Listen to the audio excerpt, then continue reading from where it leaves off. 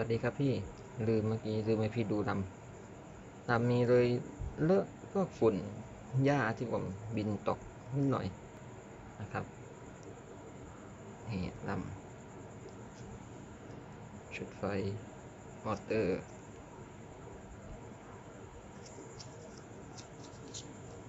เนี่ย